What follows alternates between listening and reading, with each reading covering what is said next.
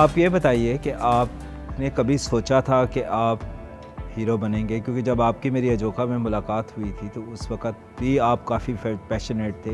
लेकिन बहुत जल्दी से आपने माशाल्लाह ये सफ़र तय किया and now you are doing a film तो क्या आपके जहन में क्या था इसके बारे में? सर मैंने तो कहा है कि अब तो सबको ऐसे ही लगेगा ना बत्तीस साल की रियाजत नज़र नहीं आ रही। अच्छा। ये अब अब्रप्त तो अभी लग रहा है। हम्म। इसके पीछे बत्तीस साल हैं। तो ये जो सफ़र है ये यकीन का सफ़र है। हम्म, यही मैं पूछना चाह रहा हूँ। हाँ, यकीन का ये सफ़र। ईमान का प्योरिटी का अल्लाह ताला की ज़ात पर कामिल और मुकम्मल जिस हद तक हम कर सकते हैं। इंसान होने के नाते। हाँ। मेरी बातों का हरगिज़ मतलब ये नहीं है कि मैं जनाब 24 घंटे मस्जिद में ही रहता हूँ या मैं 24 घंटे पता नहीं जो एक कॉन्सेप्ट डेवलप हो जाता है लोगों का ऑटोमेटिकली हम बुत बना लेते हैं।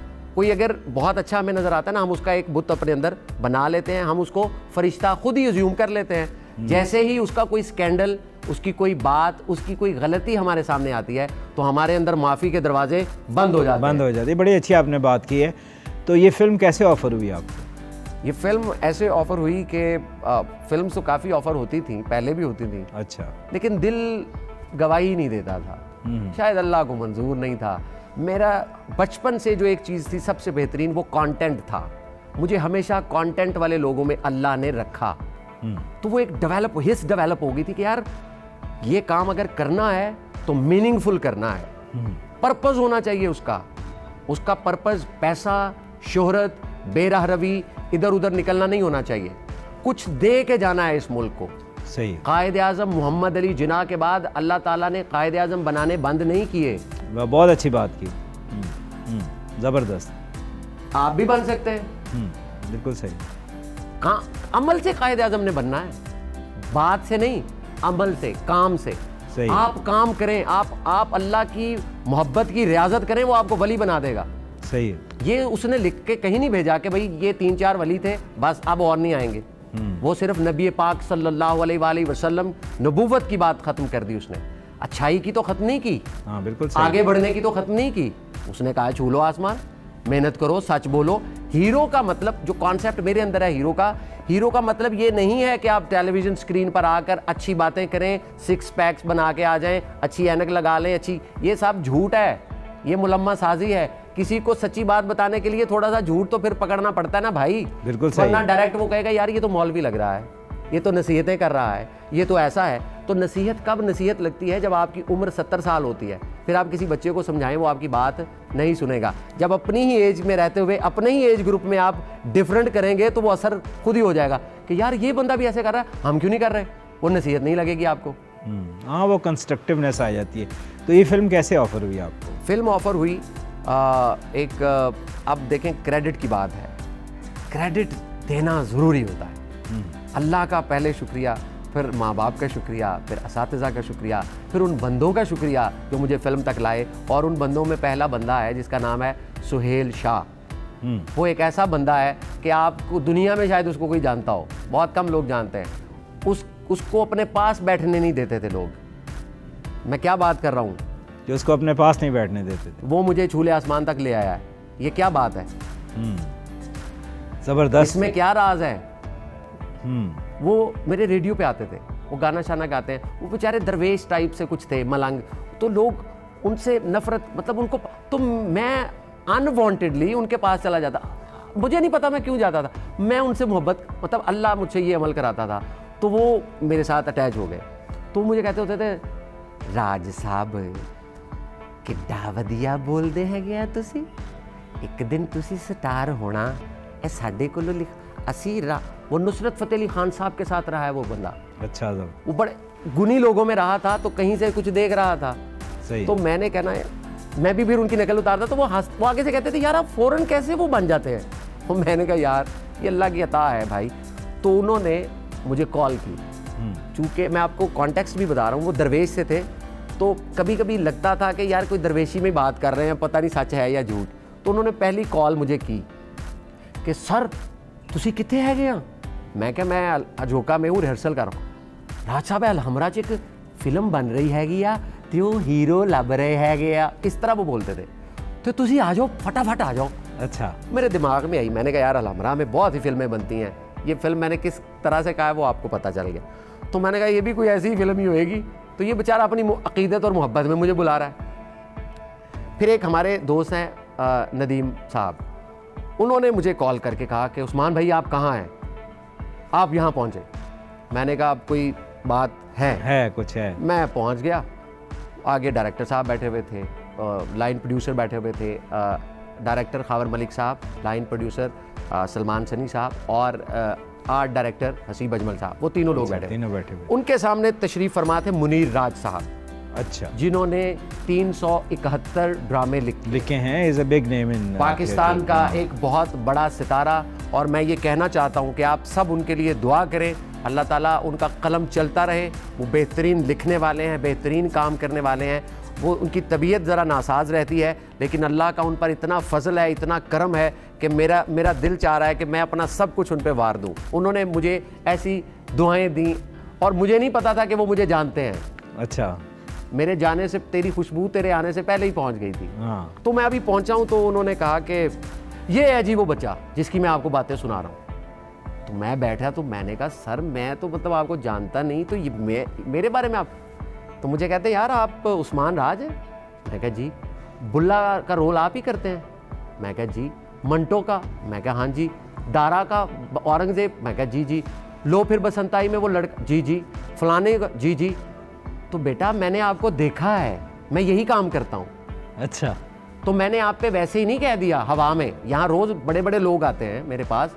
सुहेल अहमद साहब को मैंने इंट्रोड्यूस कराया फलां को मैंने इंट्रोड्यूस कराया फिर दोस्त साहब के साथ का। इतने बड़े ग्राफ का बंदा, मैं तो अभी पैदा भी नहीं हुआ।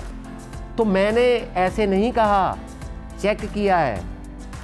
तो ये बता रहे, ये पूछ रहे थे कि यार हमें एक वर्सटैलिटी चाहिए उस रोल में, ये शेड्स हैं, फलां है, फलां तो मैंने कहा, यार वो लाहौर में एक, ये उनके जुमले बोल रहा हूँ, अपने नहीं। उन्होंने कहा, भाई लाहौर में एक ही बच्चा है, आप उसको ले लें, फ़िल्म में आप कामयाब हो जाएँगे।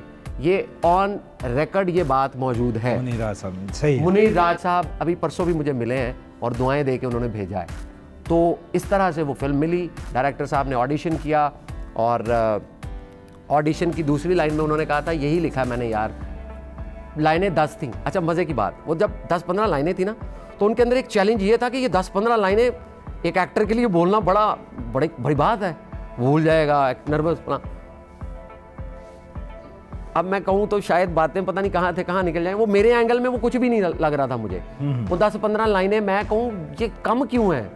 मतलब हाँ। वो और वो थी वो जो मेरे अंदर प्रिंट आपको तो मंटो का ढाई घंटे का प्ले भी कम लगा था खैर आगे बोलो। तो मैंने कहा यार ये इतनी सी वो मुझे बेसिकली डरा रहे थे कि भाई देख लीजिएगा हमने बड़े ऑडिशन किए हैं ये लाइनें हैं इसमें ये लफ्ज़ भूलने नहीं है इसमें फलान मैंने कहा जी ठीक है सर कोशिश करते हैं बिस्मिल्लाह रहीम। वो दूसरी लाइन पे वो जिस एक्सप्रेशन से खड़े हुए थे वो ये था। यही है जो मैंने लिखा है डन तो फिर आज अच्छा ये इस फ़िल्म के डायरेक्टर ही राइटर हैं मेरे जी। खबर साहब जी। वो डायरेक्टर अच्छा तो म्यूज़िक किसने कंपोज किया है म्यूज़िक इसका कंपोज किया है जी शेरी खान ने। अच्छा। जो गाने गाए हैं वो है जीशान जैनी जिन्होंने इन गानों को लिखा भी है और हेल्प भी की है। जीशान जैनी के बारे में मैं ये बताना चाहता हूँ कि पाकिस्तान की एक ज़बरदस्त आवाज़ है। अल्लाह ताला ने उसमें आवाज़ रखी है। आपके ना मानने से उसकी आवाज़ गायब नहीं हो सकती। हम्म, तो कौन नहीं मान रहा उनको? काफ़ी है जिन्होंने नहीं माना। अच्छा। और उनका शुक्रिया कि उन्होंने नहीं माना। सही है। क्योंकि अब वो उसको ढूंढेंगे। सही। तो अल्लाह को जो नहीं मानता अल्लाह को फ़र्क और ये कहाँ पे शूट हुई है फ़िल्म आपकी लोकेशन ये लाहौर में इस्लामाबाद में आज़ाद कश्मीर के कुछ हिस्सों में। क्योंकि ये जलजिले पर ये फ़िल्म जो है जलजिले पर बनी है। अच्छा। तो जलजिला 2005 में आया था 8 अक्टूबर को। ये उसके पर्सपेक्टिव में बनी हुई फ़िल्म है। और ये कब रिलीज़ हो रही है मूवी ये इंशाल्लाह जी 25 फरवरी को रिलीज़ हो रही है पूरे पाकिस्तान में। और लोग इसमें इंशाल्लाह अगर अगर मुझे देख लिया जिसने आज वो फ़िल्म ज़रूर देखेगा, ये मेरा ईमान है। नहीं नहीं, ज़रूर। सोफिया आपसे भी बात करने का अब हमें मौका मिल गया ये चुप हो गए थोड़ी देर के लिए बड़े नवाजिश है इनकी। अच्छा ये बताएँ कि आप एक मूवी बफ भी हैं, आपने बहुत ज़्यादा फिल्म्स देखती भी हैं, उनके ऊपर रिव्यूज़ भी करती हैं। तो आपकी ये जो प्राइवेट स्क्रीनिंग हुई छोले आसमान की, उसके बारे में आपका क्या ख्याल है? आपने कोई रिव्यू भी लिखा है इसके ऊपर तो क्या आप समझती हैं, कैसी फ़िल्म है हाँ सबसे पहले तो मैं इसके कंटेंट पे बात करूँगी जैसे कि उस्मान ने बताया है कि ये like this is the first movie जो जलजिले पे बनी है और ऑब्वियसली हम भी इस चीज़ के एविडेंस हैं क्योंकि हमने भी कोई ऐसी मूवी अभी तक देखी नहीं है। जी। जी तो कंटेंट बेस्ड मूवी है हम्म। जो अट्रैक्शन ग्रैबिंग थी मेरे लिए। लाइक जब मुझे उस्मान ने बताया मूवी के बारे में थोड़े बहुत इन्होंने ट्रेलर्स क्लिप्स वगैरह जैसे फ़ोन पे बंदा दिखाता है तो मुझे फील हुआ कि it's like a productive thing तो उसके बाद फिर मुझे देखने का मौका भी मिल गया। हम्म, तो it was an honour for me कि इस तरह की कोई चीज़ जो सबसे पहले मैं देख सक रही हूँ अभी तक लोगों तक वो पहुँची नहीं है। तो जब मैंने वो मूवी देखी जी। जब मैंने वो मूवी देखी लाइक जब स्टार्ट हुई तो उसका जो स्टार्ट था ना मतलब जितनी मूवीज़ भी आज तक हम देखते हैं फ़ैशन फिल्म्स हैं या whatever content is that जो भी चीज़ें होती हैं वो लाइक स्टार्ट से एंड तक आपकी अटेंशन जो है ना इक्वली ग्रैब नहीं कर सकती। लाइक like, कहीं ना कहीं स्टार्ट से एंड से मिड से कहीं ना कहीं जाके आप अटेंशन लूज़ कर देते हैं। लाइक like, हम पॉपकॉर्न्स खाने शुरू कर देते हैं हम आपस में बातें करने शुरू कर देते हैं। यू you नो know, आपको भी पता होगा ऑब्वियसली मूवीज़ ड्रामास तो आप भी देखते हैं। तो इस इट्स लाइक दैट लेकिन जब ये मूवी स्टार्ट हुई इवन उस्मान वो सिटिंग विद मी जब हम मूवी देख रहे थे। हम्म, उस्मान थोड़े से नर्वस थे। क्योंकि ऑब्वियसली इनका फ़र्स्ट प्रोजेक्ट है और ये कंटेंट भी कुछ ऐसा था जो बिल्कुल ही डिफरेंट था। लाइक इसमें कोई वो ड्रामा कोई सच कुछ ऐसा नहीं था कि जो नॉर्मली हमारी जनरेशन के अटेंशन को ग्रैप कर सके। तो थोड़े से इस वे में कॉन्शियस थे कि पता नहीं क्या होगा कैसा होगा पसंद आएगी या नहीं आएगी। लेकिन आप बिलीव करें कि जब मूवी स्टार्ट हुई मैंने देखना शुरू किया। जितनी देर मूवी चलती रही है मैंने इवन इनसे भी बात नहीं की। ओहो अच्छा। अच्छा यानी कि इतनी ग्रैब यानी कि it was so attention grabbing और उसका कंटेंट ऐसा था कि मुझे फील हो रहा था कि इसमें से एक भी मोमेंट अगर मेरा स्किप होता है या मिस होता है तो it would be a loss hmm, इतनी ज़बरदस्त मूवी है। या अच्छा। अरे भा- भाईजान ये बताइए भाईजान आपको कह सकता हूँ मैं क्योंकि आप भाईजान ही बनते हैं हर जगह पे। अच्छा ये ये बताएँ। ये भी बन जाते हैं। हाँ ये बड़ा कुछ बन जाते हैं। अच्छा ये बताएँ उस्मान उस्मान राज साहब क्योंकि मेरे अच्छे दोस्त भी हैं तो इसलिए हम ये लिबर्टी ले लेते हैं इनसे। तो इसमें बहुत सारे लोगों की ये पहली पहली मूवी है। उसमें कौन कौन लोग हैं? एक तो आप हैं और कुछ जी, और भी जी मैं बिल्कुल गोश गुजार करता हूँ आपके।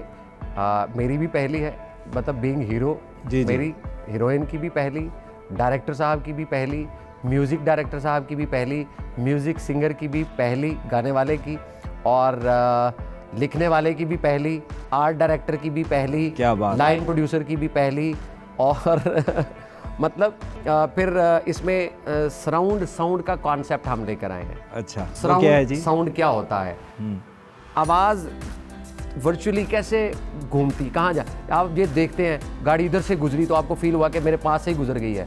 ऊपर से गुजरी तो आवाज़ें आती हैं जो हम इंटरनेशनल काम देखते हैं। पाकिस्तानी यहाँ पे वो चीज़ कम होती है फेक लगती है पकड़ी जाती है। सराउंडिंग एम्बियंस वो मैच नहीं करता फॉले उसका साउंड वो सारी चीज़ें नहीं होती। साउंड कितनी उसकी इंटेंसिटी होनी चाहिए उसका लेवल कितना होना चाहिए इंसानी कान कितनी सुन सकता है आवाज़ कहाँ से आ रही है कैसे आ रही है ये सारी बातें सराउंड साउंड के हवाले से। ये कॉन्सेप्ट जो है तौसीफ शेख साहब ने दिया है पाकिस्तान में पहली दफ़ा। पहली दफ़ा। ये सारी पाकिस्तानी प्रोडक्ट है। इसमें बाहर का कुछ भी नहीं है। हम्म अच्छा। बाहर का इसमें सब अंदर का है। तो इंसान जीतता तभी है जब अंदर कुछ होता है। बिल्कुल तो ये अंदर कुछ होने लगा है अब इंशाल्लाह। तो ये हमारा ईमान का तकाजा है कि हम अल्लाह से पॉजिटिविटी मैं इसको फ़िल्म कंसीडर ही नहीं करता।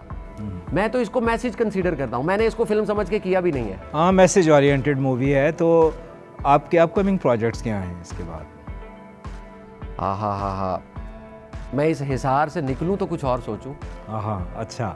नहीं ये तो इंशाल्लाह रिलीज़ होगी 25 फरवरी को लेकिन मैं वैसे पूछ रहा हूँ भाईजान प्रोजेक्ट्स तो इतने हैं एक ही जुमले में बात ख़त्म करता हूँ। दुनिया में आठ अरब लोग हैं। हो सकता है नौ अरब हो जाए आहिस्ता आहिस्ता।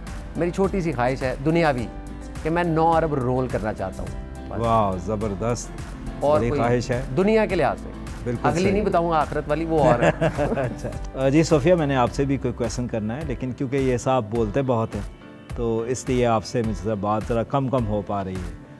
तो जनाब, ये बताइए आप उस्मान राज साहब, कि पाकिस्तान लाहौर और कराची के दरमियान जो फ्रिक्शन है फ़िल्मों के हवाले से और जो एक कम बनती हैं लाहौर में फ़िल्में, कराची में ज़्यादा बनती हैं, आप कहते हैं मैं बड़ा कंस्ट्रक्टिव आदमी हूँ, मैं बड़ा पॉजिटिव आदमी हूँ तो what role do you see कि आप ये दोनों जो ये जो फ्रिक्शंस हैं फ़िल्म के हवाले से इसको आप कुछ ख़त्म कर पाएँ कोई इसके अंदर अपना रोल अदा कर पाएँ आपका इसके बारे में क्या ख्याल?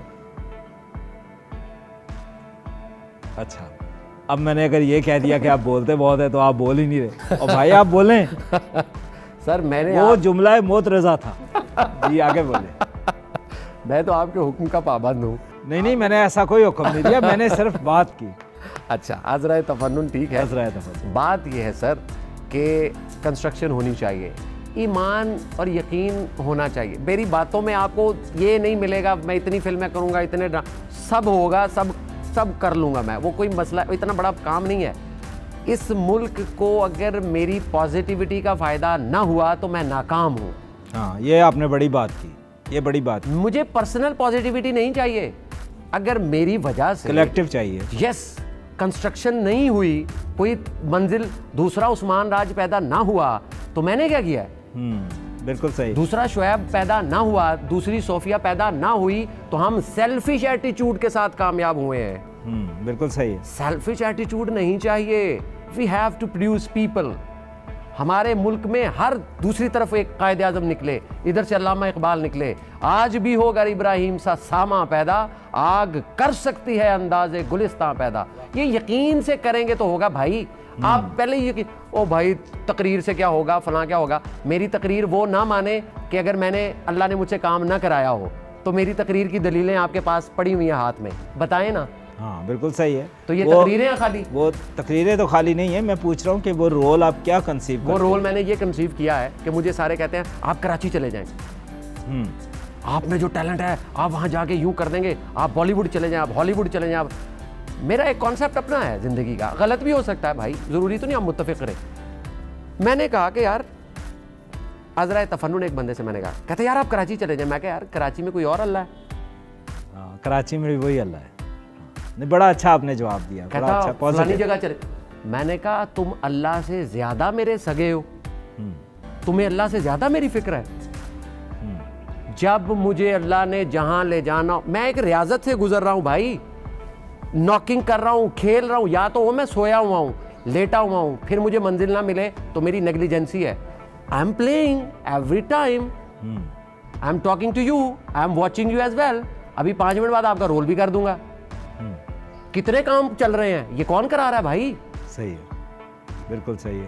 तो उस्मान राज जो है ना वो एक पैशनेट और रेस्टलेस सोल का नाम है जिसको मैं जानता हूँ। अच्छा उस्मान अब आप हैं अभी आपकी फ़िल्म रिलीज़ नहीं हुई। तो आप इतना बोलते हैं। हाँ जी। जब आपकी फ़िल्म रिलीज़ होगी तो आप कितना बोलेंगे? ये मुझे बता दें जब मेरी फ़िल्म रिलीज़ हो जाएगी ना अल्लाह की कसम मैं नहीं बोलूँगा। क्यों नहीं पूछे क्यों? हाँ क्यों? कुछ लोग ऐसे होते हैं जो उनको आप जो मर्ज़ी बता लें। जब तक वो देखते नहीं हैं ईमान नहीं लाते। बड़ी बात।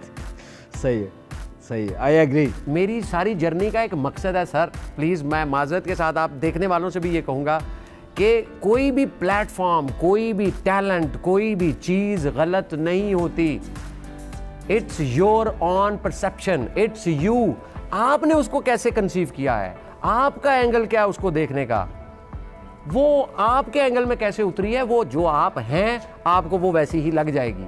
हम्म, आप इस आर्ट कल्चर से टैलेंट से सही बात बता सकते हैं। आपने मेरे साथ ड्रामे देखे हैं। क्या उनमें मैंने लोगों को कहा है उल्टे काम करो। बताए ना आप उसके पॉजिटिविटी हाँ, कि भाई हाँ। सीधे बनो। इस फ़िल्म में मैं कह रहा हूँ छूले आसमान। ये एक मकसद है ना छूले आसमान। ये कोई बुरा लफ्ज़ है आप बताएँ मुझे। नहीं नहीं बड़ा ज़बरदस्त लफ्ज़ है। क्या इससे पहले ऐसा लफ्ज़ आपने भी इसी, इसी इंडस्ट्री में काम करते हैं। जिस जिसने ये लफ्ज़ नहीं बनाया उसका क्या हाल हुआ है? हम्म। तो जिसको अल्लाह ने ये लफ्ज़ दिया है कोई तो बात है ना?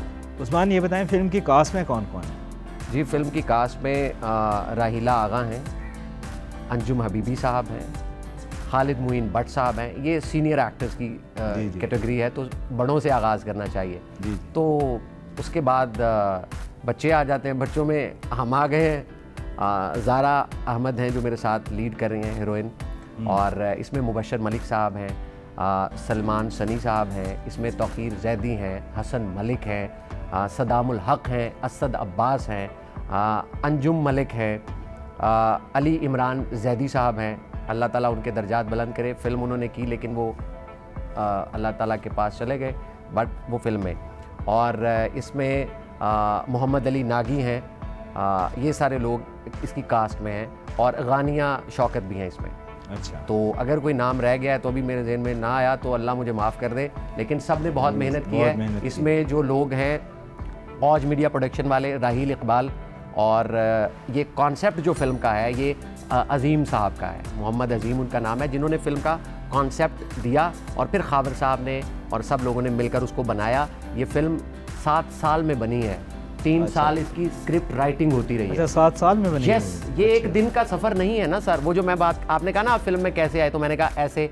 हम्म। तो वो उसके ऐसे के पीछे कितने कैसे थे वो मैंने बताया आपको। सही है। तो ये सारे क्रेडिट्स हैं। कोऑर्डिनेटर फैसल मिर्ज़ा थे हमारे साथ जिन्होंने इसको कोऑर्डिनेट किया। मेकअप आर्टिस्ट कफ़ील थे जिन्होंने इसको आ, हमें मेकअप वगैरह किए। और ऑडियो पे जो मतलब स्टूडियो में वो तौसीफ़ शेख थे जिनका नाम मैं आपको पहले बता चुका। औज मीडिया प्रोडक्शंस की ये फ़िल्म है और खावर तौसीफ़ मलिक इसके डायरेक्टर हैं हसीब अजमल इसके आर्ट डायरेक्टर हैं और जो इसकी आ, आ, आ, हमारे पोस्टर्स जो हैं उसके जो क्लिक्स किए थे वो ब्राउन शुगर्स वालों ने किए थे अजीम भाई हैं जिन्होंने क्लिक्स किए थे पोस्टर्स के लिए। तो ये उनका भी एक क्रेडिट है। इसके अलावा जितने लोगों ने हमें भाई पानी भी पिलाया चाय भी पिलाई हमारे पास से भी गुजरे उन सब का बहुत शुक्रिया। ये खा ये ख़ास तौर पर ये फ़िल्म अता हुई है ये बनी नहीं है ये खुद ही बनवाई गई है। क्यों बनवाई गई है? पच्चीस को पता चलेगा।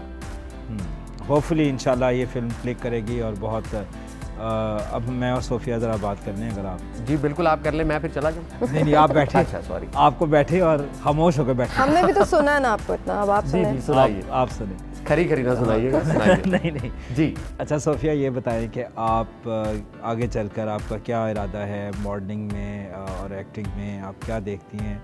और being a young actress and model आप क्या समझिए पाकिस्तान में मॉडलिंग का क्या सीन है फ्यूचर क्या है? और आप नई जनरेशन के लिए आपके जहन में क्या चीज़ें हैं कि वो क्या करें तो इसमें आगे आएँ फ़ील्ड में आगे बढ़ें काम करें? कुछ बताएँ इसके ऊपर बात करें। आई थिंक सबसे पहले तो पॉजिटिविटी ज़रूरी है। Positivity hmm. और जो सबसे पहले एक मैसेज मैं ये दूँगी कि एजुकेशन मत छोड़ें। हम्म, ये सबसे बड़ा पॉइंट सबसे बड़ा पॉइंट है। क्योंकि मैंने देखा है कि इवन बच्चियाँ नाइन्थ क्लास में टेंथ क्लास में they are just you know rushing towards this क्योंकि कितने शूट्स पे कितनी जगहों पे ऐसे बच्चियों से मुलाकात होती है जो बिल्कुल छोटी छोटी हैं। They don't know even about themselves कि वो क्या कर रही हैं कहाँ आ रही हैं कौन से लोगों से मिल रही हैं। Hmm. कुछ पता नहीं है उनको। क्योंकि आप होता है नौ दस साल मतलब नाइन टेन ईयर्स की जो आपकी एज है क्लास की स्कूल में आप जा रहे हो तो उस टाइम पे बच्चे को क्या पता है कि मेरे लिए क्या अच्छा है क्या बुरा है?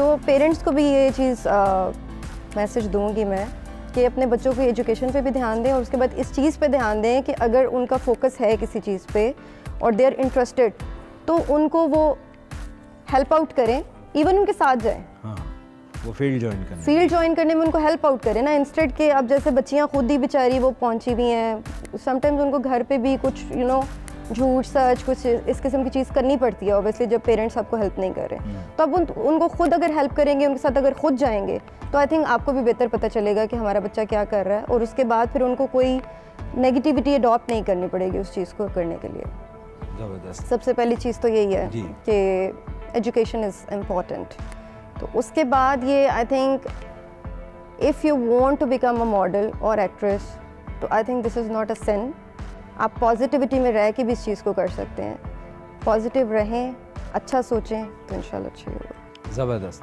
आज हमने आपकी मुलाकात करवाई उस्मान राज और सोफिया चौधरी से। उस्मान साहब की फ़िल्म आ रही है, चूल्हे आसमान जो कि 25 फरवरी को रिलीज़ होगी और उम्मीद करते हैं कि ये फ़िल्म बॉक्स ऑफ़िस पर क्लिक करेगी और बहुत इस मैसेज ओरिएंटेड मूवी तो होपफुली इट वुड क्लिक। और उस्मान साहब हैं, ये माशाल्लाह बोलते बहुत हैं, लेकिन बोलते सही हैं।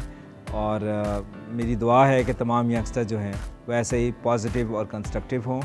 उम्मीद है आपको ये प्रोग्राम पसंद आया होगा। इन फिर नेक्स्ट टाइम भी इनसे मुलाकात करेंगे, फ़िल्म आने के बाद।